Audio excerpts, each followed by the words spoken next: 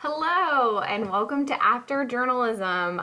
My name is Meg Adams. I am an owner of my own media production company, which I'm going to get to. I'll tell you about my background in a little bit. I'm also an associate professor of journalism and PR and marketing, and I teach video production, so a little bit of everything. But today I'm going to hopefully help you learn how to reframe your skills for either other fields in communication or if you're someone who wants to take those skills from journalism, like I did, and start your own business. So hopefully this is going to be a really helpful webinar for you, and we're going to dive right in. Okay, so the structure today for this workshop is we're first going to talk about really grounding your brand, if you will, um, or your your skills in storytelling. I'm going to talk about why I think that's important and how you can do it. I'm also going to review some issues or places where I've heard both students and clients that I work with talk about where they're getting stuck when it comes to making that leap specifically from journalism to PR or where they're feeling frustrated in trying to talk about their skill set, whether it's in an interview or when they're out with friends or on those job materials is probably where most of our minds went there. Then we're going to obviously kind of talk about what, what you can do instead, how you can work on that. We're going to do a little bit of an actual workshop time. So I'm going to ask you to do some work today while this stuff is fresh in your head um, to get that momentum rolling for you so you can begin actually doing this work. And then we'll talk about some potential next steps for you if you want to dig deeper uh, and continue sort of working to think through your next career step, where you want to land. Okay, so I am you I'll just say this flat out. I'm like super skeptical about people on the internet, but I have come to see in the past year how wonderful it is for making connections with people and like the beauty of that, especially on social media. So maybe that's where you heard about me. Maybe you subscribe to my newsletter or I have a Facebook group, Sisters in Storytelling. I'm also highly active in the TV to PR group. And so I wanted to give you though just some of my background so that you understood like where I'm coming from and why I feel confident in sharing this information with you today. So I have successfully transitioned out of journalism into higher ed, into higher ed, and then into owning my own business. So I left journalism after three years in the business as an MMJ. Um, like many of you, I was frustrated for a variety of reasons that I don't think we need to go over. But I made a decision um, in my life that I wanted honestly just a very different lifestyle than what I was going to have in journalism. But I loved, loved, loved telling stories. Um, it was something that I wanted to do since I was like a little kid. Like I wanted to tell stories. I was always on the school newspaper. I actually did like the um, we called it the student communication network in high school where we gave the video announcements and stuff so. But anyways i left the field and it was not an easy decision. So if you are there right now you are contemplating making that shift like i totally understand all the emotions around that identity right and that identity shift. I did make that leap. I went back to school in higher ed. I went back because i thought i was going to be a high school english teacher because i loved writing and storytelling and i wanted a better schedule I ended up um, being mentored through and earning a PhD in rhetoric and writing in 2015. During that experience, I was actually able to work with an interactive documentary with a bunch of other grad students that went on to win a Peabody, was featured in the New York Times, won a World Press Photo Award. Like it was amazing experience. It changed everything for me. After that experience, I gained that confidence that I needed to think through how I could take the skills that I had in journalism and use them to create my own media production company. So my partner and I started that company six years ago. We are hiring our first employee. We hired our first employee this year, and that business just continues to grow. And again, that is all from both of us were former journalists. So the skills that we had in journalism got me my job in higher ed, also got me my job, um, allowed us to create this business. So what I've learned over the course of the past almost a decade out of journalism is I have seen people really miss amazing opportunities. And this goes across like journalism. And this is just people switching careers in general because they weren't speaking to their skill sets. But I think this is especially valuable for journalists because you all have some pretty amazing skills. Like, trust me, everything that I talk about when I teach in a classroom or pitch to a client literally stems from the three and a half years I spent as a journalist. I think the hardest part of transitioning out, and maybe that's where you are right now, is reframing that skill set or beginning to think. I, I, say more deeply on the slide, but I also think this is part of like thinking outside of the box about what it means to tell stories in a different field. Like, how's that going to translate, right? So maybe that's where you're at, and that's particularly what we're going to focus on today. Okay, so I think you guys knew where this was heading. If you are looking at the job ads, if you are talking to people in communication, you know that it is all about storytelling, right? You need to start framing your work as storytelling right now because this transitions across almost all communication industries. Everywhere, people know and have known for it's been like the past five or 10 years, people in marketing have talked about the power of storytelling. They've talked about brand storytelling.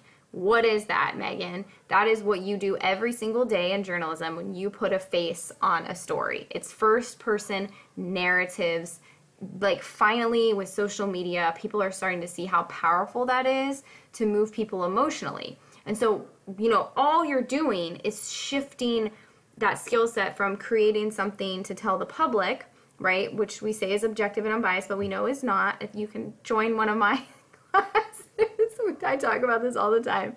I also like digress, but it is all about storytelling. Essentially, what you're doing when you move into PR or marketing or any com job really is you're storytelling for a brand. So it's just a slight shift there, but you are already doing it and you are really, really good at it. So start framing your work as storytelling and start curating your personal brand now. So, what do I mean by a personal brand? I mean all of your social media handles and bios. Where, especially if you are not on LinkedIn, like get on LinkedIn, rewrite your profile, start framing yourself. If you could be storyteller, you can journalist, storyteller, add that somewhere to your bio and begin to think through all the skills that it takes to frame yourself as a storyteller. So that's one thing I would do right away. Like right after this lecture, I would think through or workshop, I would think through how am I going to change my social media bios, but also when I say a personal brand, because we're all we're all kind of personal brands, especially when you're on the job market. You want to think through how you're curating that and how you're curating that in real life. So it really is kind of back to what I said in that that previous slide. It's an identity shift for you. It's moving from journalism to storyteller, and I think that's the first step that you can use to really start to make that that leap or that shift, right? And so you can start thinking that through in ways that you are not only talking to people, maybe it's, here's a good chance to practice is maybe you're seeing family and friends over the holidays and sometimes that, you know, those chit-chatty conversations will venture to, oh, yeah, like how's work going? You know, you can start start to practice like framing what you do as storytelling as opposed to journalism. We're going to dig a little deeper to that in the next slide here, but just stick with me.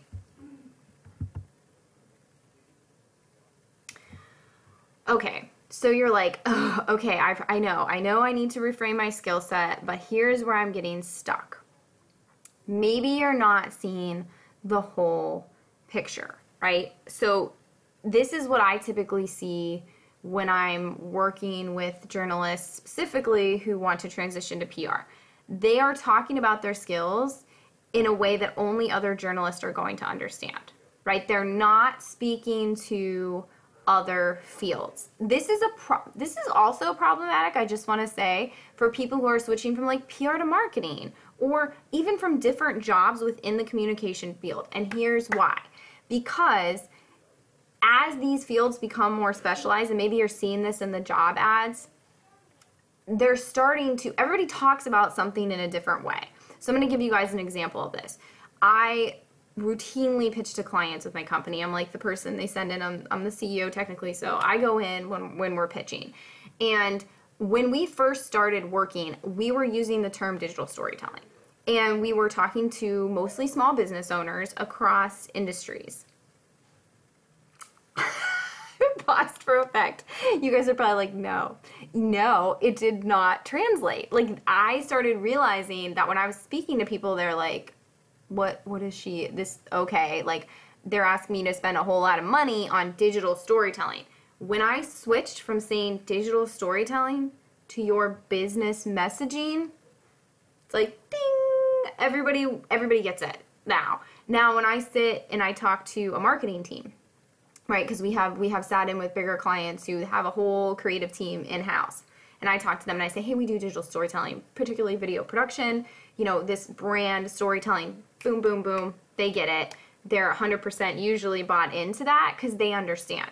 So I told you those stories to say this is what you need to think about as you're creating your resumes, um, thinking through your cover letter, thinking through what your social media bios are going to be, thinking through, again, how you're presenting yourself and the skills that you have. So, the first tip here is like, think about your resume through the eyes of a PR manager. Do you know somebody in PR? I know a lot of you came from that TV to PR group. If you're not in there, like you, you could ask somebody to look at your resume for free. Send it to me. Like I'll be happy to look at it and kind of tell you maybe where these red flags are. But if there are people in there, again, who are in PR or are hiring, if you have anybody in your circle, that's who you want to look at your resume and tell them, like, don't be like, hey, look at my resume and give me feedback. Be like, hey, am I speaking to my skill set in a way that translates? Do you understand why this is valuable? So I usually use, I tell people to use a little equation, if you will, that's like, okay, tell me about your skill set and then tell me why it's valuable. I'll use an example. So in a lot of journalists' um, resumes, I see the line shot or responsible for creating daily packages, VOSOTs, and VOs for nightly newscast. Like, no, nobody is going to understand that in PR. They don't know what that means. So maybe that shifts from that, from that, what I just said, to responsible for creating one minute to 30 second personal, you know, narrative driven stories that reached 70,000 plus viewers in my market. In my market, they don't again, DMA might be something that is could still be foreign depending on like what job you're applying for. So there you go. This is a skill. The value is I've reached this level of an audience, right? start tracking if you are doing digital stories track how they're getting hits on social media like these are things that you can put in there with like 90,000 views or whatever i mean you know maybe 300 views whatever like you, they know that you know how to create a story right to my first point so that's point number one there point number two you might be trying too hard to make your skills fit into the box uh, related to a particular specific job ad you're referencing as you prepare material. So this is like the flip side of that. This is where you're just like, I've seen people just try to specifically talk to every single bullet point in some of these marketing and PR ads. And let me tell you, they're looking for unicorns. Like, I think that they understand, and the industry is shifting just like journalism is shifting and evolving so is pr and marketing and so you're going to see a lot of job ads calling for like a ton of things that might be a red flag, um, especially if the salary doesn't match what they're asking you to do. But also, I just want to say here, it's okay if you can't do all of those things yet. Um, if you start seeing, as you're looking at the job ads, themes pop up, like I know one that I've been seeing a lot with clients is um, analytics. People want people who can read SEO and analytics. Maybe you go take um, a HubSpot training, right? Or a Google Analytics training or a class with me, which I'm going to tell you about in a little bit. It's just so you have that training and, and you can then say, add that line to your resume if it's something they're looking for. Maybe that's something you can do at work. Maybe there's somebody already at your job who's a digital content creator who runs those analytics or somebody in sales. Like, seek that person out, ask them to share their knowledge with you, put that line on your resume, help them out, maybe do a, a special project. So, there you go with hopefully that's where you're getting stuck. If there's anywhere else that you're getting stuck that I didn't cover and you want to shoot me an email or find me on social, I'm at Dr. Meg Adams. I'd love to have this conversation with you outside of this space as well. Okay, so what you can do instead, enact storytelling now. So start thinking about, I literally, we just went through this. As this is fresh in your mind, maybe you pull up your resume, I want you to just pause this video and I want you to set a timer and I want you to take the next five minutes and I want you to write down all the skills that you have that would uh, be storytelling again this brand storytelling or you know that you think relate to PR and marketing that you've gained as a journalist.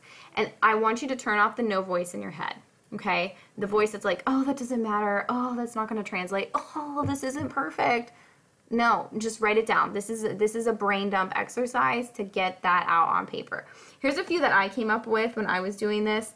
Um, obviously, video production, writing, meeting deadlines, finding multiple angles to every story, right? Sometimes we gotta be real creative with those stories as a journalist, especially as an MMJ. Um, then I said, you know, like relationship building, like highly observant, seeing an issue from multiple perspectives, content creation, all that stuff. Just list that down.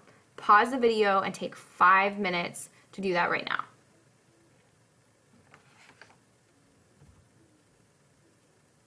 Okay, you're back. How did that feel? Hopefully really good. Um, again, if you got stuck at this part, please feel free to email me. Uh, we can hop on a 30 minute call or I'd be happy to kind of help you think through these next steps. You can shoot me an email as well. Um, I'm at Megan at homeplacecreativeco.com or at Dr. Meg Adams on Instagram is where I usually hang out, but I'm on Facebook too. So I'd be happy to chat through any of these if you've had any issues at this spot. Okay, so the next step, this is the fun part. Um, next steps are to think about the experiences that you had or the stories where your skills became solidified. So the next step for clients I have would be to take a note card and write down, um, select essentially seven to 10 skill sets that you think are the ones that are most meaningful to you or the ones that you think translate best into these PR marketing and com jobs. So then what I want you to do is write the skill on one side of the note card, flip it over on the back, and think about the time or the experience where this skill became solidified for you. So these don't have to be giant moments. Maybe it's the time you won an Emmy for this, maybe, or maybe it's just like the thank you card you got from someone or how you changed their life. I mean, whatever. Or it can be something simple like the time you had a difficult conversation with a, you know, a, a fellow employee to build a relationship that would speak to like internal corporate communications, right? So again, I'm just going off the top of my head here. But I would suggest that you do these cards when you do them, do one a day. Like, don't try to sit down and do them all at once because the point of this is that you are prepping yourself not only to have confidence in making this transition, which again, I've been there, so I know how difficult that is, um, but so that you are comfortable and confident in telling these stories in the cover letter, in your resume, in your job interview, but also when you're out with friends. Like maybe, again, it's family members, friends. You don't know who's going to give you your next job. Every single one of my positions and most of my clients have been through serendipitous relationships that have happened um, unplanned, right? So, and I think as you get better telling these stories, again, like I said, naturally that confidence is going to grow in you, but you might make those connections. This is like the beauty of true networking is, um, not networking to like chit chat for what you're going to get out of somebody, but really networking to find the people who you have similar interests, values uh, with, and that you can build genuine relationships with. So having those stories handy, just kind of knowing, so you're not caught off guard when you do get that chance. Th- these cards can help you do that. So share them. You can share them. Also, these make for great social media posts. Like people always relate to these. Maybe you've seen me share some of these in like the TV to PR group and stuff like that. Um, but this is uh, every time you speak your truth, you're kind of practicing telling these stories. But you're again in this way, you're you're framing them. My PhD is in rhetoric. Um, you're framing them in a way so that they're more prime to land, if you will. And you're also enacting the storytelling and a lot of the communication skills that most people are going to be looking for for someone in, in public relations, which is all about relationship building. So I hope that this helped. Um, please do these steps. Um, I'm excited to hear from you. Let me know if this was helpful. If you don't mind, I'd really love to hear back from you um, with any feedback that you have about the webinar as well. Even a quick two minute email would be great. Um, the last thing I wanted to talk to you about today is um, a course that I developed called Creating a Story Brand. So you can see across the bottom here um, what this course entails. I'm really excited about it. So this course is essentially i know that again being a journalist i think you i created this course because i essentially for you um, and for business owners and entrepreneurs who are starting their own brands from scratch.